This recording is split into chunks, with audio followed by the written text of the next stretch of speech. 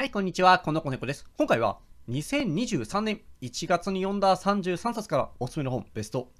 3について語りたいと思います。では、早速、第3位ですが、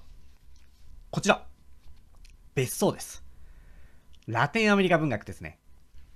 チリの作家、ホセ・ドノソの代表作。大人全員がピクニックへ出かけ、子供33人だけが残された別荘で引き起こされる事件を描く本書。島に4年間閉じ込められた狂人や別荘付近に住む食人習慣があるとされる原住民。別荘のある土地を覆い尽くす人を窒息死させるほどの大量の綿毛などなど適度な難しさと適度なマジックリアリズム、まあ、幻想的描写がザ・ラテンアメリカ文学って感じです同じくラテンアメリカ文学の傑作とされる100年の孤独と比べてみると、まあ、難易度は同じくらい。マジックリアリズムはちょっと控えめ。リアルに近い感じですね。ただ、まがまがしさが格段に上です。100年の孤独のマジックリアリズムは怖さと美しさが内包されたものでしたが、別荘のマジックリアリズムは底知れない不気味さを読者に与えるものです。まあ、ほとんどがリアル、現実に近い描写。しかし、時折出てくるマジックリアリズム的描写。まあ、例えば、大人にとっての一日が子供にとっての一年に描写されたりと、まあ、そういうリアルだか幻想だかいまいち判断がつかない描写が読者を不安にさせるんです。本書は作者ホセ・ドノソが1973年にチリで起きたクーデターに着想を受けて書いたものです。まあ、チリのクーデターについても以前、当チャンネルでは紹介していますので、ぜひ、別荘を読む際は合わせてみていただければ幸いです。さて、2023年1月に読んだ本第2位ですが、こちら。量子力学で生命の謎を解くです。非常に興味深い内容でした。まあ、量子力学とは分子や原子といった非常に小さな世界に働く力を調べる学問です。まあ、この量子力学の世界、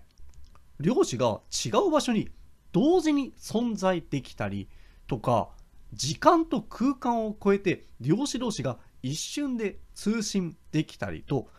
SF ばりに不可思議な現象が起こることで知られていますが、まあ、基本的には私たちが住む、まあ、普通の世界には影響を及ばさない、まあ、関係がないとされています。ま、同じく不可思議な現象を起こすことで知られている代表格、まあ、動くね、スピードによって時間の進み方が変わる相対性理論などは、位置情報を特定する GPS に使われていたりと、そこそこ我々の日常にも関係しているのですが、まあ、量子力学はもう相対性理論以上に不可思議すぎて、まあ、我々や我々を含む生物とは無関係とされてきました。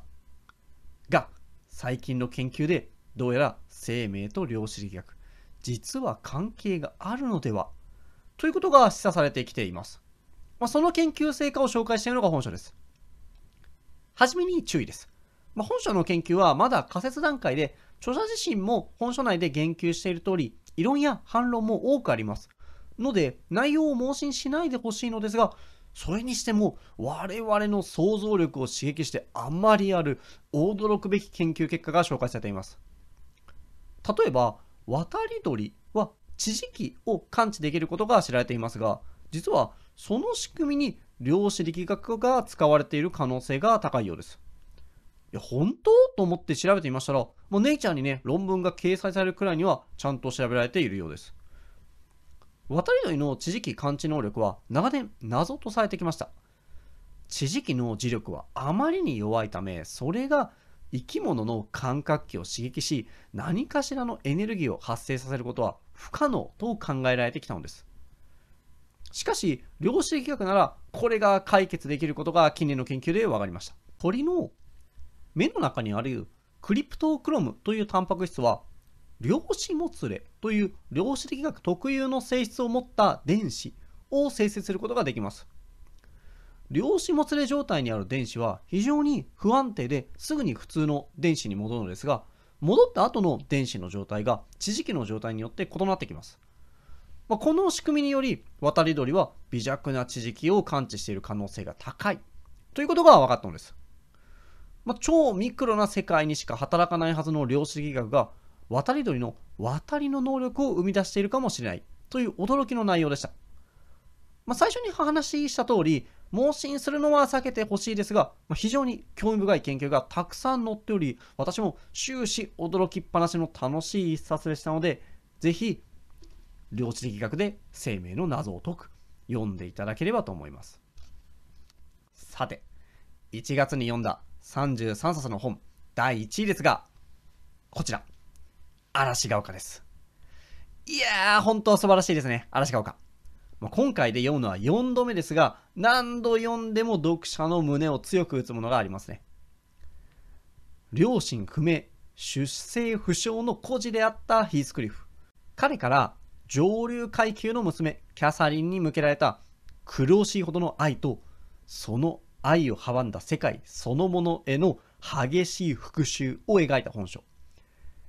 いやもうほんと、ヒースクリフの愛と復讐が重すぎて、狂ってて、読んでいて胸焼けするくらいです。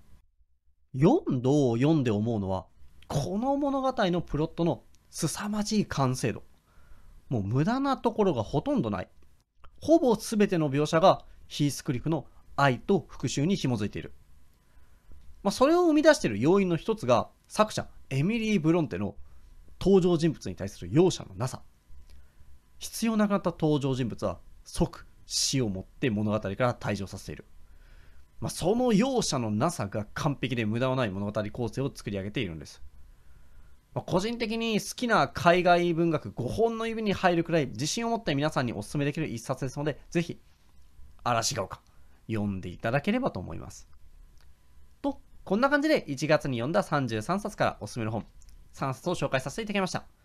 まあ、これ以外にも1月は素晴らしい本にたくさん出会っています。他の本は YouTube ライブで紹介しています。説明欄にリンクを貼っておきますので、合わせてご覧いただければ幸いです。と、このようにこのチャンネルでは毎日1回、読書に関する動画を投稿していますので、気に入ってくれた方はぜひ高評価やチャンネル登録、コメントいただけると嬉しいです。ではまた明日お会いしましょう。バイバーイ。